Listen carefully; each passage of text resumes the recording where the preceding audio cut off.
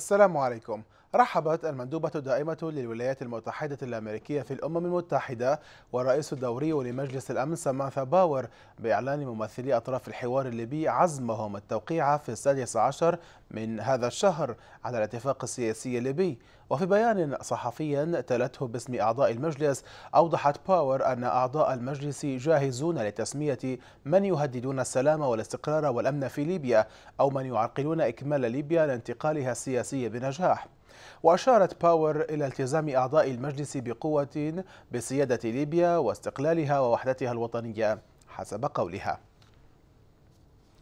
إلى ذلك أكدت باور أن أعضاء مجلس الأمن يرون أن مؤتمر روما سيشكل فرصة إضافية لإظهار الدعم الدولي للاتفاق السياسي الليبي وتشكيل حكومة وحدة وطنية.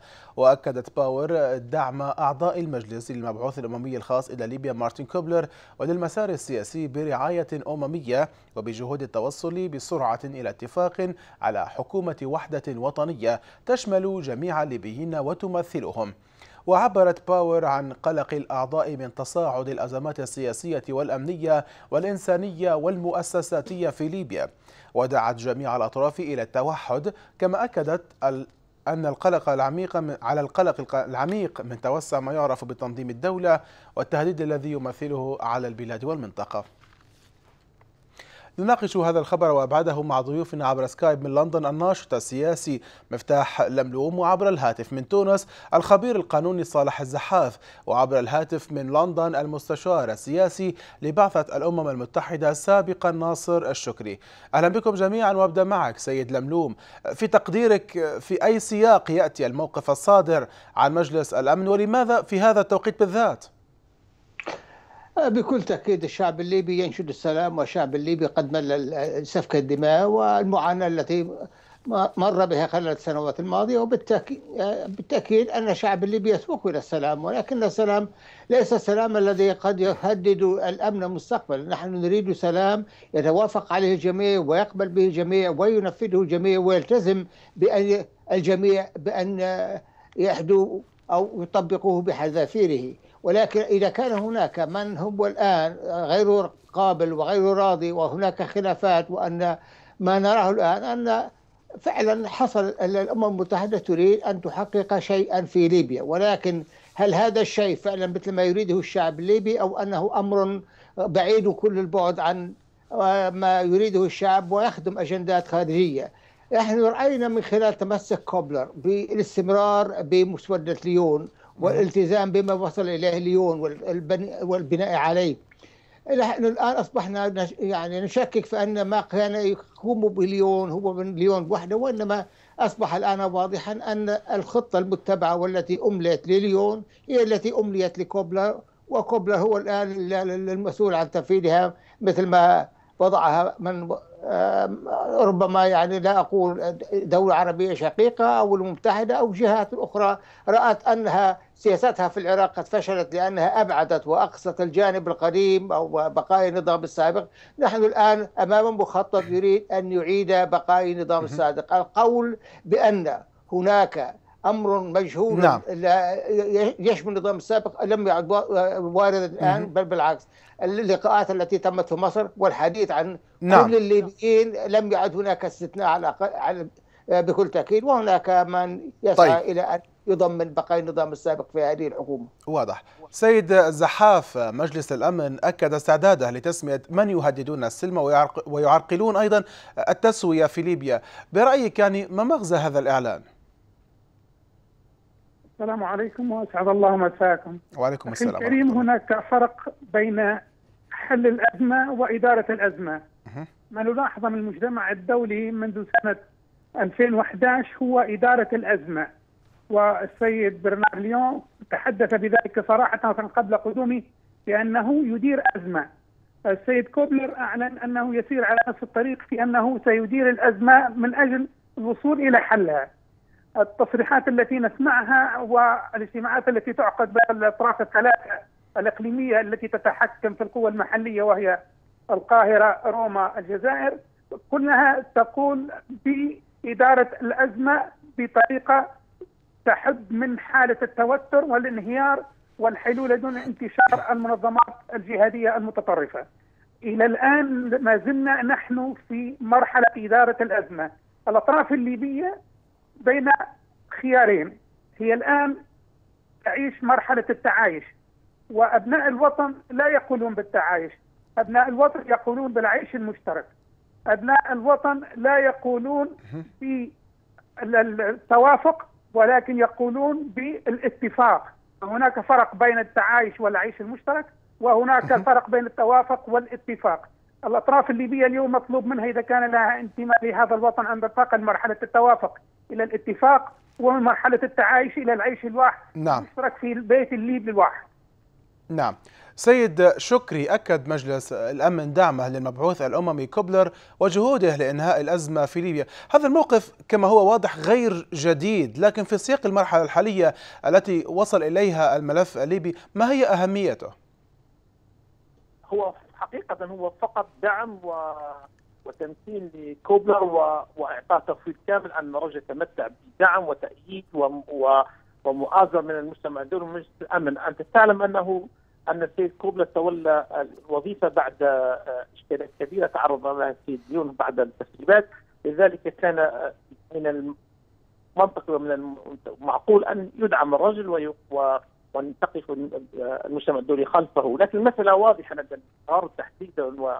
و... وأوروبا وهو أن لا سبيل ولا مناص من الاتفاق، ليس هون الانقسام الذي يقع الآن والصراع لا يخدم أحدا إلا الحركات المتطرفة على راسها داعش ولذلك أصبح لزاما كمرحلة أولى لمحاربة داعش ولقطع الطريق عليه والتطبيق عليه. هو إيجاد حكومه توافق وانهاء الخلاف والانقسام الذي بات من الواضح أن أن الجهة الوحيدة المستفيدة منه هي داعش. استطاعت استطاعت بذكاء وبدهاء أن تستفيد من هذا الانقسام وأن تعمق وأن تعمق هذا الانقسام وأن تستغل هذه هذه الظروف لتعزز من تواجدها ومن قوتها. ولذلك لابد كخطوة أولى لابد من إنهاء الانقسام ثم التوجه والوقوف مع الحكومة لمحاربة هذا التصميم الذي بدأ يتمدد وأصبح مسألة وجوده. لا تناقش الآن مدى مدى خطوره هذه القضية الآن التي ينظر إليها الغرب. كان سابقا هناك نوع من الجدل حول مدى وجود هل يوجد هذا التصميم أم لا. الآن الأحداث تجاوزت هذه المسألة وأصبح ما, ما هي الخطورة التي يشكلها التنظيم الدولي التنظيم داعش ليس على ليبيا وإنما على القوى الإقليمية وعلى أوروبا تحديدا. نعم.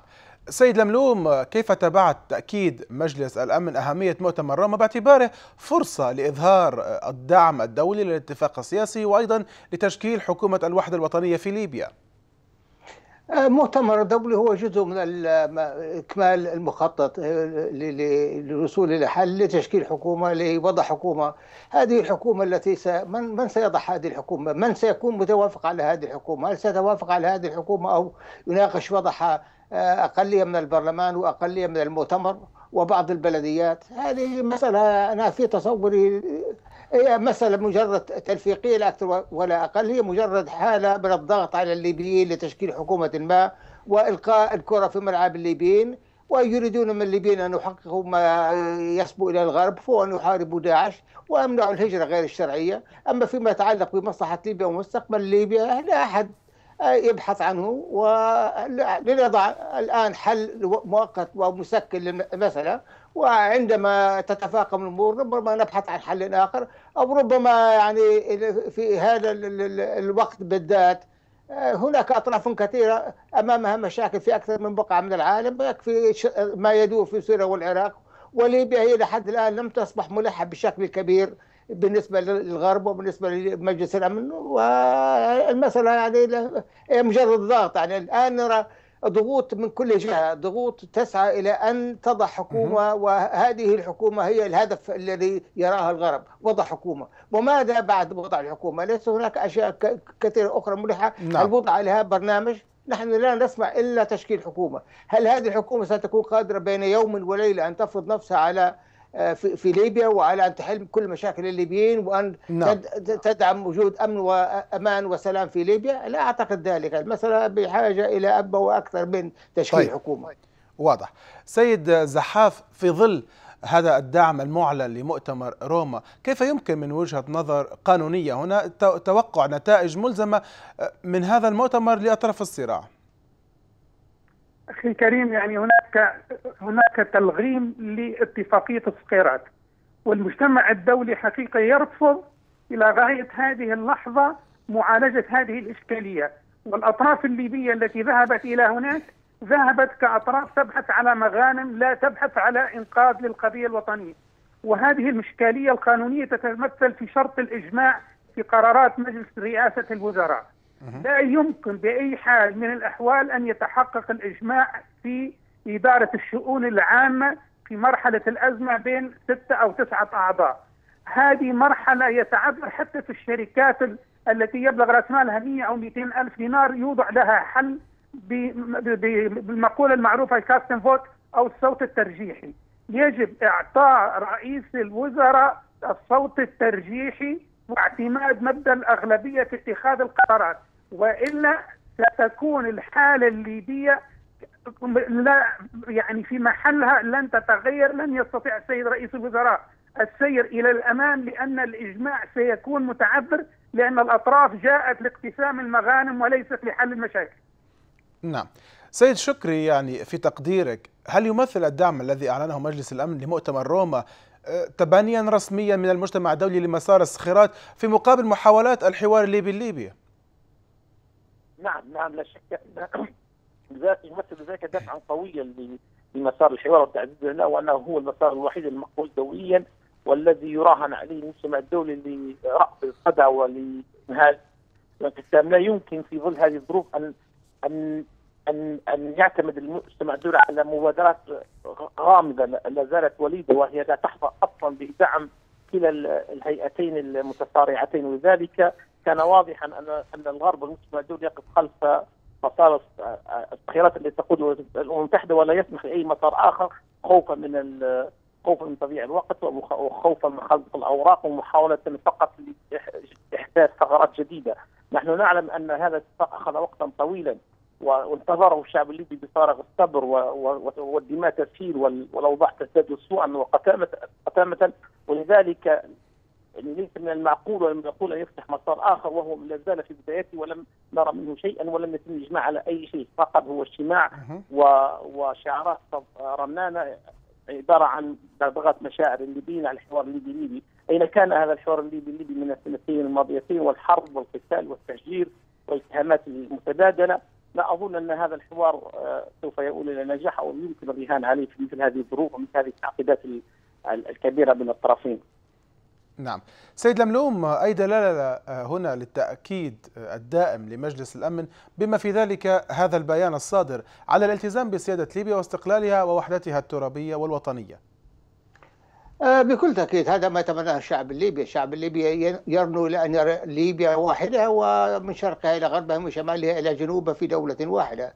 ولكن القول بالدعم الذي ستقدمه أو تقدم المجموعة ستجتمع في روما عندما نسمع أن الاتحاد الأوروبي سيقدم 100 مليون يورو. هل 100 مليون؟ هذه ستكون مصاريف تنقل مبعوثيها وموفديها إلى ليبيا. 100 مليون يورو لن تفيد على الإطلاق يعني. ماذا ستعمل ب 100 مليون يورو؟ الدعم الذي نريده ليبيا على حافه إفلاس ليبيا الشعب الليبي في يعني في أشهر من الآن ربما قد لا يجد الغذاء، الشعب الليبي بحاجة لكثير، الشعب الليبي يعاني من الأمرين، الوضع الصحي السيء، التعليم، كل من كل جوانب الحياة في ليبيا متضررة وبالتالي الدعم الذي يتحدث عنه الأوروبيين هذا الدعم أو مجلس الأمن. هذا الدعم يجب أن يكون دعما ملموسا ذو فائدة ويفيد ليبيا. ولكن الحديث عن دعم نحن لا نريد الدعم بالكلمات نريد الدعم الحقيقي الدعم الذي فعلا يبني دولة. نريد فعلا دعم لتثبيت الأمن في ليبيا. هذا أمر مرغوب من كل الليبيين. يريد دعم على أن لا يغامر بمستقبل الشعب الليبي وبثورة 17 فبراير. ولكن إذا كان هناك من ينشد دعما لأن يثبت عناصر النظام السابق في حكومة قادمة هذا ليس دعما. هذا هي وصفة لتفاقم الوضع مستقبلا ووصفة للانشقاق والتشطر في حال الحالي. لا بد أن يكون هذا الدعم يخطو في حسبانه ما قد يقبل به الثوار يعني الثوار نعم. لحد الآن يملكون السلاح وبإمكانهم أن يكونوا عنصر غير مشاغب وعنصر نعم. قد لا يقبل ما يملى عليه. واضح. وصلت هذه الفكرة. سيد الزحاف يعني مجلس الأمن أكد استعداده لتسمية المعرقلين للحوار ومن يهددون أيضا السلم في ليبيا. ما دلالات هذا التأكيد؟ خاصة وأن المجلس لم يتحدث بشكل مباشر عن عقوبات. المجتمع الدولي وبالذات الدول الكبرى تعرف من هي الأطراف التي تقف وراء الصراع. ويتعلم هذه القوى الكبرى أن أطراف الصراع هي عبارة عن مقاولين من الباطل للقوى الكبرى. هناك أطراف ليبية تقاتل اليوم في ليبيا وتحمل السلاح كمقاول من الباطل للقوى الكبرى في الصراعات الإقليمية التي تدور في المنطقة. وبالتالي هذا من باب حقيقة التخويف والتهديد لأشخاص يعلمون جيدا أنهم قادرين على الانصياع إليهم بكل عفوية وبكل انضباطية. وبالتالي هذا در للرماد وستكشف الأيام للليبيين من هم هؤلاء المقاتلين أو المقاولين من الباطل للمشروعات الإقليمية للدول الكبرى في ليبيا. نعم. سيد شكري يعني قلق المجلس من تصاعد الأزمات السياسية والأمنية والإنسانية وحتى المؤسساتية في ليبيا الذي عبر عنه. إلى أي حد يتوقع أن يترجم كل ذلك في خطوات عملية؟ يعني وما يعني كيف ستكون طبيعة هذه الخطوات؟ لا شك أن أن الهدف الذي دفع الغرب الاهتمام والتركيز على ليبيا هو ملف الإرهاب خصوصا بعد ضربات فرنسا وبعد المخاوف من من أن تكون ليبيا تتحول ليبيا إلى قاعدة انطلاق لمهاجمة أوروبا عبر الهجرة غير الشرعيه وغير ذلك. ولذلك تحرك الغرب بعدما أدرك أن أن أن داعش يعني سوف سوف تكون التهديد الحقيقي الذي يواجه الغرب وسوف تكون ليبيا قاعدته منطلقه للهجمات. لذلك ترك ليبيا لمدة سنتين ولم يكترث كثيرا بما يحدث في ليبيا من مآسي وإشكالات ومن معاناة يوميه للمواطن الليبي ولكن أنت تعلم والمشاهد يعلم أن الغرب يتحرك بدافع عن مصالحه وهو أمر منطقي وطبيعي لا نتوقع أن الغرب سوف يحرص على مصلحته أكثر من الليبيين ولكن الدافع الواضح هو مخافه نعم. تحول ليبيا لقاعده ارتكاز وانطلاق الإرهاب وهو ما دفعهم الان التركيز على إنهاء الانقسام. وهو وهذه نعم. وهذه على فكرة يتفق عليها الليبيون. لا شك ان أن الأسلوب الصحيح في محاربة داعش هو هو إنهاء نعم. و... وإيجاد حكومه توافق وطني. لا يمكن أن نحارب الإرهاب في ظل انقسام وفي صراع ليبي داخلي داخلي. بينما المستفيد الوحيد من هذا نعم. هي داعش التي طيب واضح وصلت هذه الفكرة سيد شكري. سيد لملوم وفي عجالة هنا لو سمحت يعني دعوة المجلس لجميع الأطراف إلى الوحدة ودعوتها أيضا إلى مواجهة التهديدات الإرهابية لا سيما ما يعرف بتنظيم الدولة. إلى أي حد يمكن أن تلقى أذانا صاغية حسب تقديرك؟ أنا أتمنى أن يتم أن تلقى أذان صاغية. أتمنى يجمع كل الليبيين على كلمة واحدة ولكن هذه الأمنية ربما قد نجدها بعيدة إلى حد ما. أنا لا أعتقد أنه سيكون هناك أذان صاغية بالحد الذي يمكن أن نثبت هذا الاتفاق ونتمنى أن تكون هناك أذان صاغية ولكن لا أعتقد ربما هناك من سيثير الشغب في وجه هذا الاتفاق وربما قد نرى تشظي في سواء في على صفوف الثوار الذين يحتاجهم الغرب لمحاربة داعش لأن داعش لن تتحرر. لن تحارب ولن يقضى عليها في ليبيا إلا نعم. بالاستعانة بالثوار لأن ليس هناك جيش على الإطلاق في ليبيا لحد الآن. واضح سيد الزحاف أيضا في عجالة لو سمحت يعني في حال حدد مجلس الأمن فعلا لوائح لمن يصفهم بمعرقلي التسوية ومهددي السلام في ليبيا ما هي الخطوات المتوقعة بعد ذلك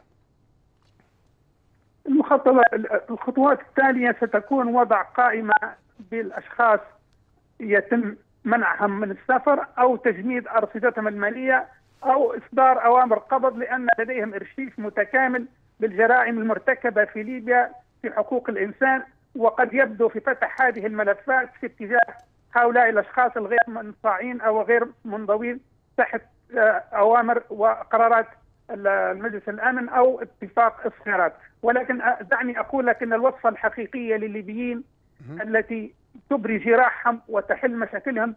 هي الوصفة النبوية التي تقول لا تؤمنوا حتى تحابوا لا يؤمن أحدكم حتى يحب لأخيه ما يحب لنفسه. هذه الوصفة الحقيقية اللي على كل ليبي وليبية أن هو يحملها في داخله ويمارسها في سلوكه وقادر على حل كل مشاكله وتحويل حياته من هذا الجحيم إلى حياة النعيم.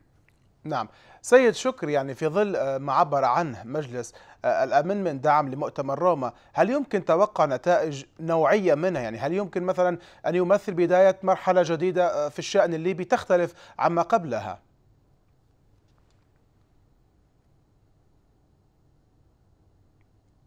نعم سيد الشكري أنتقل اذا إلى السيد لملوم. سيد لملوم يعني إلى أي مدى يمكن أن يساهم مجلس الأمن الدولي في تسريع التوافق السياسي؟ أه والله إذا إذا تبعت السياسة التي تبعها كوبلر وعندما جاء اليوم وقال المسوده الاخيره غير قابله للتعديل ثم فاجأنا بتعديلات أدخلها هو من نفسه وفرضها على الجميع. يبدو أن مجلس الأمن يريد أن يفرض شيء وبكل تأكيد الشعب الليبي في هذا الوضع المزري الحالي ليس أمامه إلا أن يقبل. الشعب الليبي الآن بين مطرقة والسدان وبالتالي لا خيار له إلا أن ينصاع عليه مجلس الأمن شروط مجلس الأمن وما يريد مجلس الأمن. وربما هذه لفترة بسيطة ولكن أنا لا أرى أن ما يريد أن يفرضه مجلس الأمن أو الحكومة التوافق القادمة ستكون قادرة على أن تحل تلحلح أو تحرك كل الملفات العالقة الموجودة حاليا وأن تجد حلا لها وبالتالي سيبدأ التململ من الشعب الليبي من جديد وقد نرى ما هو اسوء بكثير مما نحن فيه الآن. نعم، سيد الزحاف يعني آه، آه، مجلس الأمن الدولي لوح أكثر من مرة بفرض عقوبات على كل من يعرقل نجاح العملية السياسية في ليبيا برأيك هل تأتي هذه التحذيرات لإلزام الأطراف بضرورة التوصل إلى حل سياسي ينهي الأزمة؟ هو خطاب سياسي أكثر منه خطاب عملي لأن الأطراف الدولية في مجلس الأمن تعرف بالضبط من هو على الأرض ومن يملك زمام هذه القوة على الأرض ومن أين تأتي إليهم الذخائر وهم قادرين على وضعها في وضع حرج خلال أسبوع واحد. ولكن في الحقيقة الكلام الذي يقال هو كلام سياسي.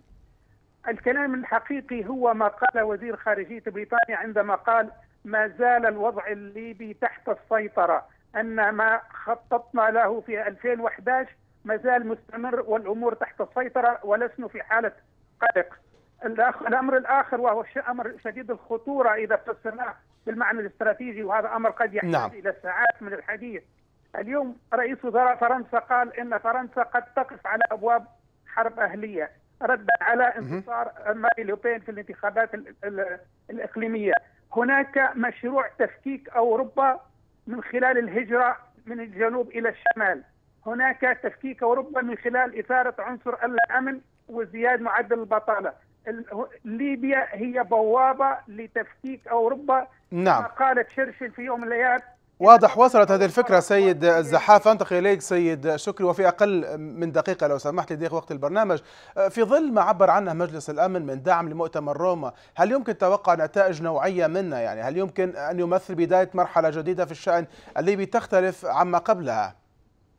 نأمل ذلك كثيرا. لا شك أن من الناحية النظرية ومن الناحية العام آه، سوف سوف يوقع الأطراف هذه الأطراف الاتفاق ولكن الإشكالية تكمن في تطبيق هذا الاتفاق على الأرض في ظل هذا الانقسام وهذا الصراع وهذا التفتت. اسف المؤتمر يعاني من قسمات حادة وعنيفة وكذلك البرلمان. وهناك قوة متناحرة وفي حاله صراع دائم من الصعب جدا من خلال قناعتي الخاصة أن يطبق هذا الاتفاق على أرض الواقع بكل سهولة. لعل من الناحيه النظرية قد يتم ذلك ولكن من الناحيه العملية سوف ياخذ الوقت. آه، الأمر وقتا طويلا جدا للأسف. نعم. نعم وبهذا إذا نصل مشاهدينا الكرام إلى ختام حلقة اليوم من برنامج خبر وبعد.